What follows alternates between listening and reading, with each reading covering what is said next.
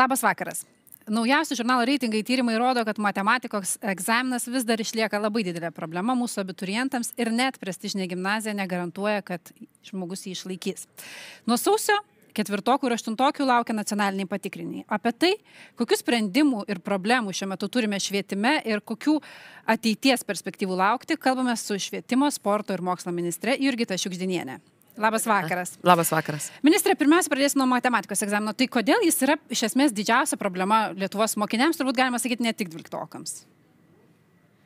Na, dėl įvairių priežasčių, ne tik matematika yra e, problema, na, turbūt apskritai, na, e, būtent fizika, chemija, gamtos, tikslėjai mokslai yra sunkiau įkandami mūsų vaikams dėl įvairių priežasčių.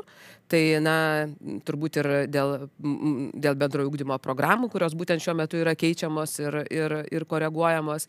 Na, taip pat dėl to, kad Lietuvoje vyravo labai mažos ir vyrauja dar vis mažos mokyklas, ypatingai gimnazijoje, mažos klasės, kuomet vaikai neturi galimybių tiesiog rinktis, mokytis kai kurių dalykų aukščiausių lygių. Ir tai dažniausiai būna tikslėjai mokslai, tame tarpe matematika. Apie matematiką mes kalbame galbūt daugiau todėl, kad matematika yra privalomas egzaminas, na, kuris yra labai svarbus, stojant į aukštąjį mokslą. Na, taip, lietuvių kalba ir matematika tokia alfa ir omega. Taip, tai yra alfa ir omega, tai mes apie juos kalbam. Ir žymiai mažiau vaikų laiko, tarkime, chemiją, fiziką, biologiją kas irgi labai labai svarbu. Ir labai svarbu, kad kuo daugiau vaikų laikytų e, tiksliųjų mokslo egzaminus, nes mums specialistų tose sritise labai trūksta. Ir trūksta ne tik mokytojų, trūksta ir inžinierių, trūksta IT specialistų.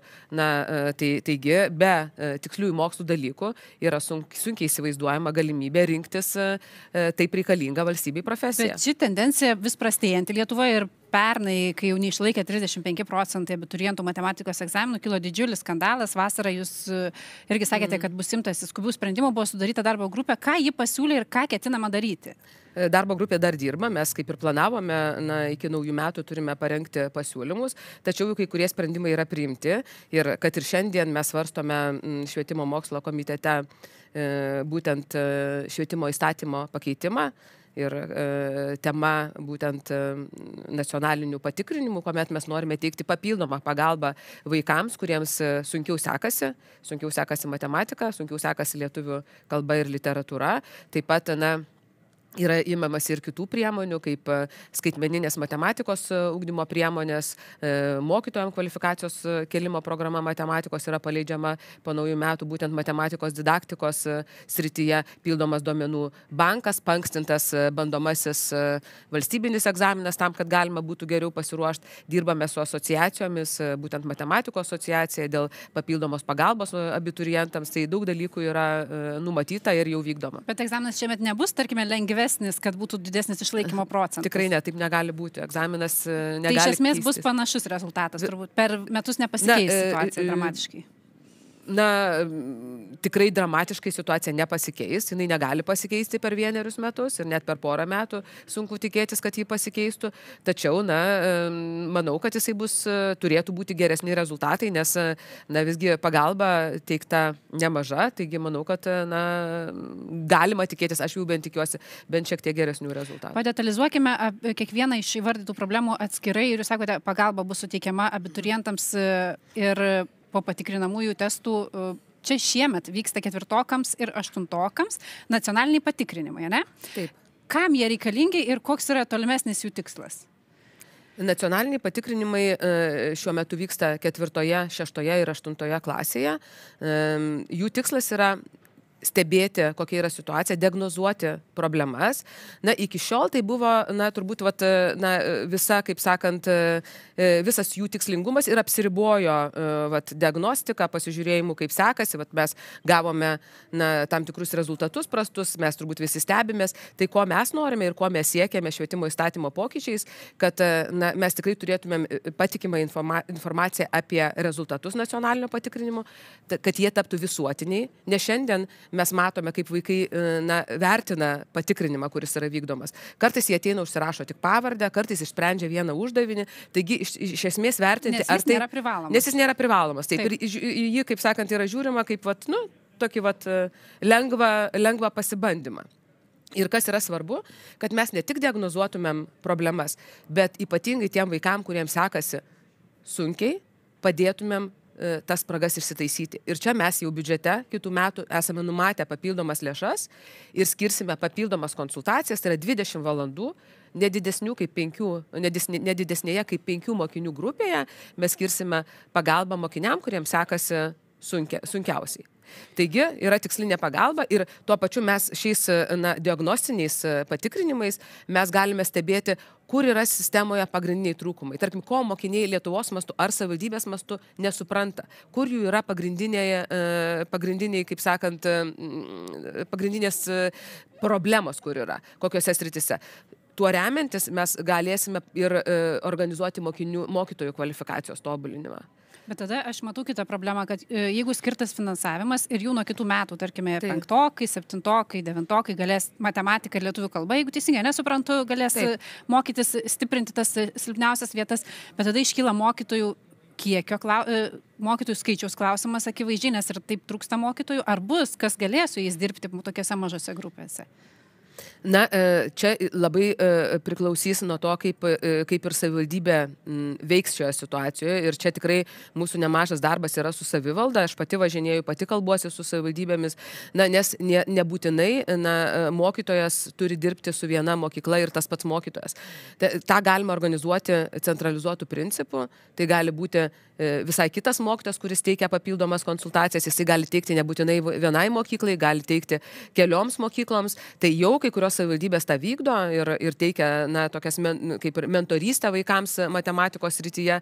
Taigi čia yra galimi įvairūs modeliai, nes mes turime situacijų, kuomet, na, visi vaikai vienoj klasiai neišlaiko matematikos uh, pagrindinio, tarkime, ugdymo patikrinimo.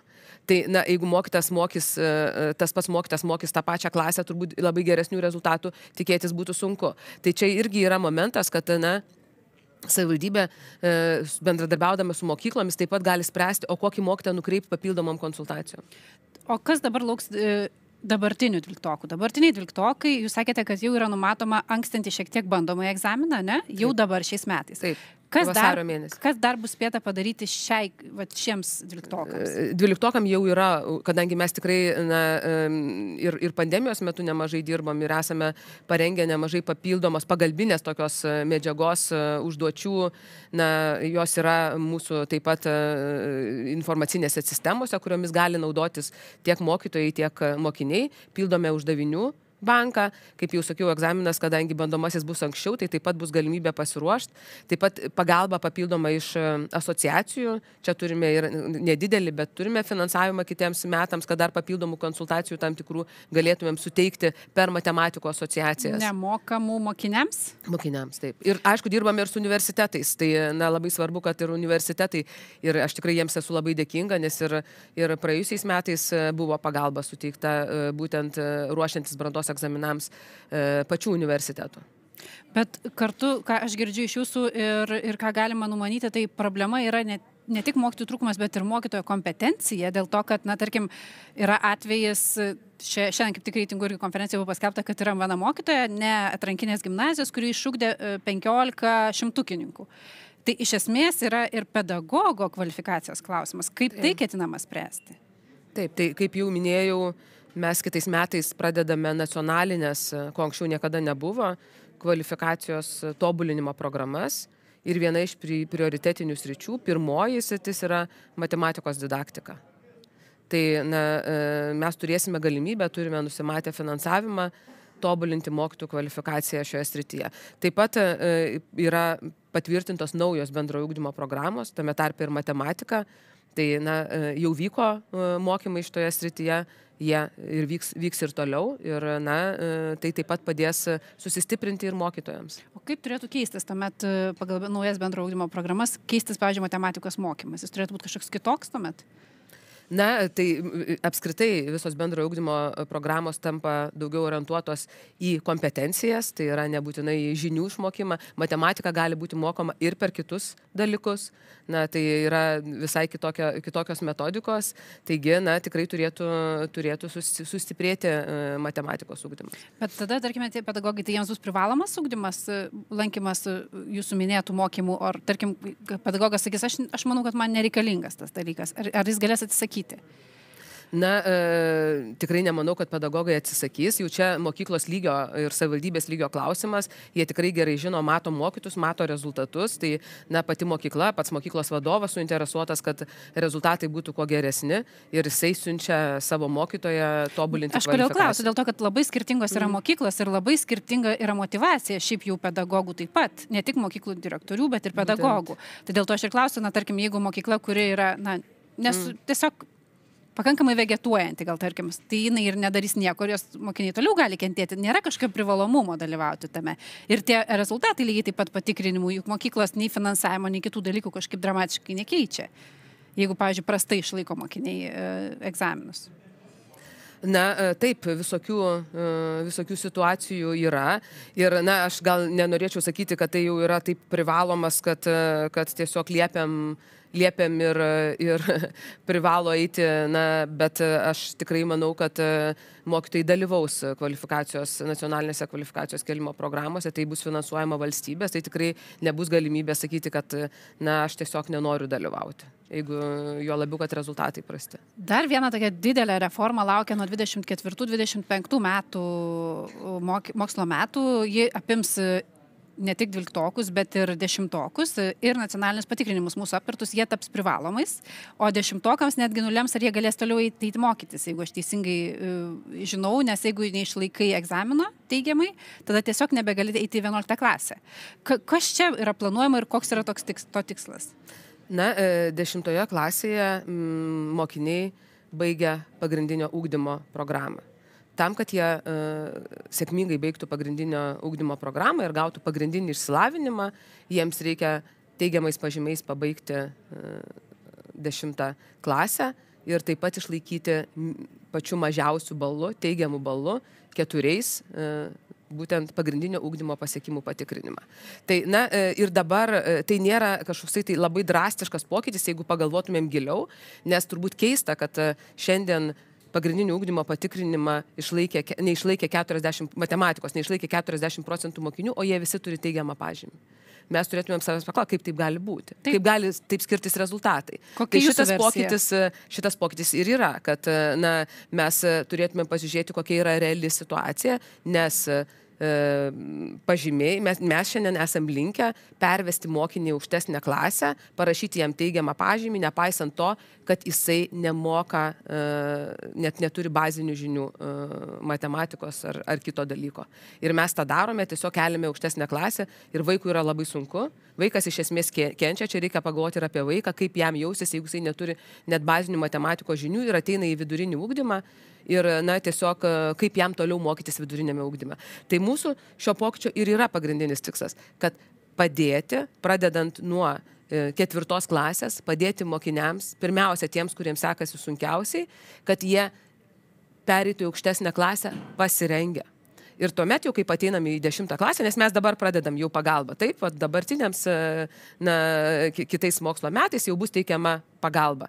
Tai jau kaip e, vaikas ateis į dešimtą klasę, mes tikimės, kad tokių na, vaikų, kurie neišlaikytų uh, būtent pagrindinio ūkdymo pasiekimų patikrinimo, na, tai jų gali būti keli procentai kaip, kaip ir, ir, ir kitose valstybėse, bet tokių skaičių, kurie šiandien pas mus yra, tai, yra, tai na, to negali būti. Ir ką, mes siūlome pagalbą, vaikas gali mokinys gali kartoti, dar kartą laikyti pagrindinį ugdymo pasiekimų patikrinimą, susistiprinęs ir, ir Ir, na, kaip sakant, manau, kad antras kartas tai yra labai geras dalykas, nes šiandien to nėra, jokios galimybės dar kartą laikyti e, pagrindinį ūkdymo pasiekimų patikrinimą.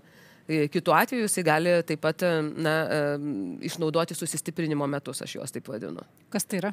Tai yra dar kartą, tą kurtą, e, dar, dar kartą pakartoti tą patį kursą. Arba, arba, ir tai yra pasaulyje yra normalu.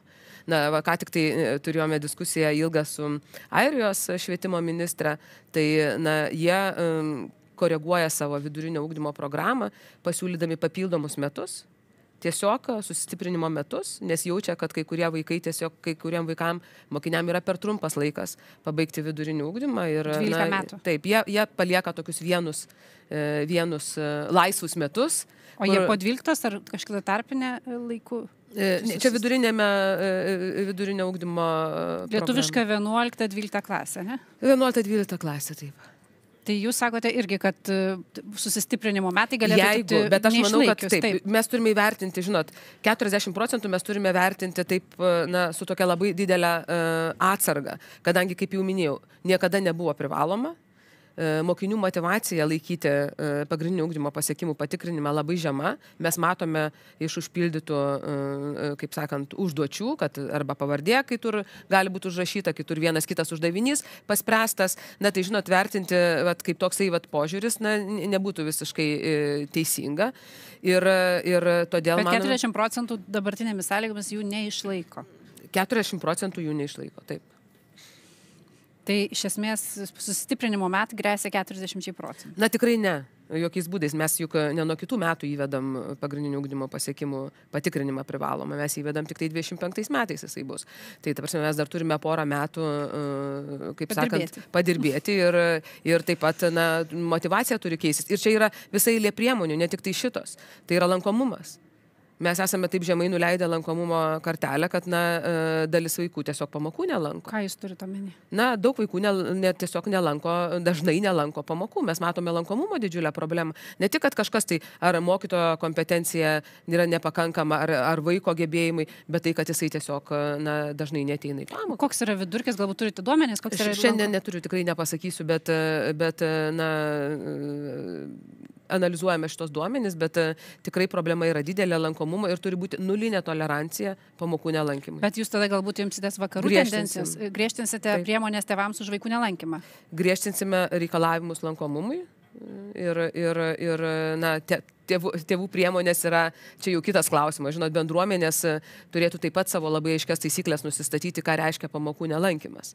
Ir, ir labai norisi to susitarimo jau mokyklų lygmenyje, nes kai kurios mokyklos puikiai tvarkosi ir yra puikios e, labai aiškios taisyklės, kad tu negali na, išvežti vaiko mėnesio atostogų ir tikėtis, kad jisai mokės matematiką grįžęs. Aišku, yra kurie moka, tai mes žinom, kad visokių vaikų yra, visokių šeimų, bet mes turime situacijas, kuomet na, grįžtant po atostogų E, kaip sakant, vaikas e, yra stipriai atsilikęs. Ir ką tada mokytojai daryti?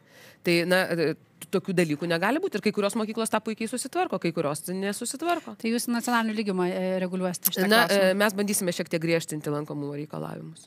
Dar negaliu pasakyti kiek, bet... O ką reiškia griežtinti? Tai turiu meni, kad x dienų galima praleisti? Na, šiandien yra toks reikalavimas, kiek tu turi lankyti pamokų tam, kad galėtum, pavyzdžiui, būti perkeltas į aukštesnę klasę bet e, e, tai mes peržiūrėsim, pasižiūrėsim, ką galime padaryti nacionaliniu. Koks yra dabar, lygiu. tiesą sakant? Jeigu aš e, gerai pamenu, bet nenoriu suklaidinti, tai taip su atsarga sakau, man atrodo, 50 procentų pamokų be pateisinamos priežasties. Tai, tai yra labai daug. Tai yra labai daug. Tai jūs ties šitą vietą labiausiai. Na, dirbsite. taip, žiūrėsime lankomumo klausimą tikrai. Dar viena naujovė laukianti 24-25 metų mokslo metais yra abiturientų kaupiamasis brandos egzaminas. Dabar brandos egzaminą ir daugybę kartų laikėme, e, tiesiog atėjom, išlaikėm arba neišlaikėm ir viskas. Jūs siūlysite daryti kaupiamąjį per du kartus, jeigu teisingai suprantu. Tarpinius, to, tarpinius atsiskaitimus, tai yra matematika lietuvių kalba du kartai. Gal galite truputį daugiau papasakoti, kas lauks abiturientų po poros metų? Na, man atrodo, čia tikrai turėtų pradžiuginti abiturientus ir, ir mūsų visus, nes, na, iš tikrųjų mes turbūt su baime, didelę baimę visada žiūrim į valstybinius brandos egzaminus, nes, kaip jūs sakėt, vieną kartą atėjai, neišlaikėjai, išėjai ir, kaip sakant, viso gero tais metais. Tai, na, tai na, turi susistiprinimo tai, metus, kaip tai, jūs tada sakote. Tai, tai, na, visai būna matomai, tai, kai, žinot, nebūtinai valstybinio brandos egzamino reikia tam, kad pabaigtum vidurinę ir gautum vidurinį išsilavinimą. Čia daugiau turbūt kalbam jau ir apie aukštąjį mokslą. Bet, Bet na, mes ką siūlom, jog dalį, dalis pažymio gali būti kaupiamasis, tai yra 40 procentų pažymio, tu gali susirinkti per tarpinius atsiskaitimus. Tai vadinasi, na, ne viską nulėmė tavo. Mm, lietuvių matematikos ar visų? Visų. E, lietuvių matematika po, e, kaip da, šiuo metu dar tas e, sprendimas yra, na, jis nėra priimtas, jis yra diskusijose. Ir, na, Bet jūsų idėja, na, jūs jo, jo, du, du, du tarpiniai atsiskaitimai ir 40 procentų pažymo tai sudaro. O ką tai keičia tada, tarkime, na, jeigu vis tiek žinios yra vienokios, tai kodėl jūs manote, kad tas vienkartinis yra blog, blogiau negu vat, kaupiamasis? Na, žinot, kaupiamasis yra labai gerai dar dėl to, kad na, mokymasis yra toksai labiau e, nuoseklus. E, na, ne vienam kartui, ne vienam egzaminui. Tu tiesiog e, mokaisi žymiai nuosekliau ir ilgesnį laiką. Tavo žinių įsisavinimas yra žymiai geresnis. Ir na, dažnai mes irgi sakom, kad stresas veikia. Taip, na, vieną kartą atėjai, gali geriausiai mokyti, aš pati žinau, aš tikrai, man labai daug streso visą laiką kelia egzaminas. Ir, ir, ir na, jeigu aš turėčiau galimybę dalį pažymio ir būti susirinkti iš e, tarpinio atsiskaitimų, tai man būtų žymiai paprasčiau, nes aš e, jau žinočiau, e, ne tiek, kaip sakant, drebėtų kinkos, kaip sako liaudija, atėjus laikyti laikyti. Na taip, tada, bet per du kartus tada, žodžiu, drebėtų kinkos. Na, žinot, bet tai yra per du kartus, tai yra nuosekliau. Taip, tai, tai nėra, ta prasme, patikrinimas, vienas patikrinimas už visą periodą. Kokių dar naujovių galima tikėtis? Mes aptarėme šios du pagrindinius mm. pakeitimus, kurie buvo paviešinti kaip idėjos. Kas dar yra ruošiama? Na, e, kol kas e, tikrai kažkokių tai labai didelių pakeitimų nėra ruošiama. Manau, mes ties čia ir sustosime. Rusų kalba? Tai čia yra daug tikrai, žinot, švietime visas kiekvienas klausimas yra, na, reikalauja tam tikrų sprendimų.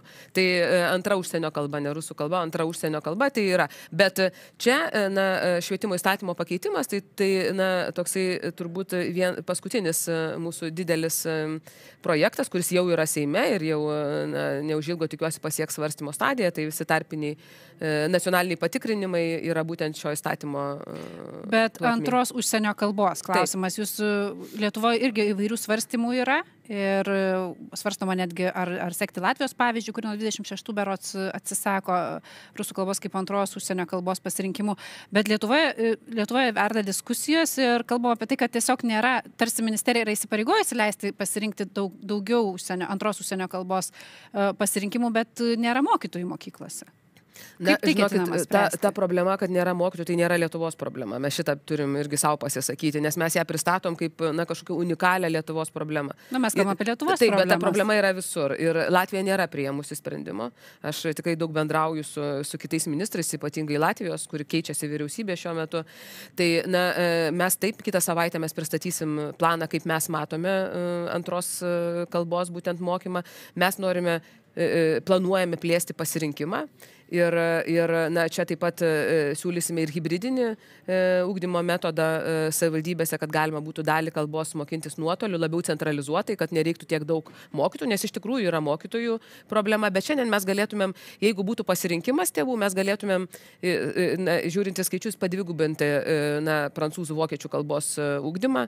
Na, tiesiog tėvų pasirinkimai yra atitinkami kol kas. Tai čia labai didelis šviečiamasis darbas yra ir su tėvais, kad rinktųsi ES kalbas. Ir aišku, tikrai ne paskutinėje vietoje yra rusų kalbos mokytojai.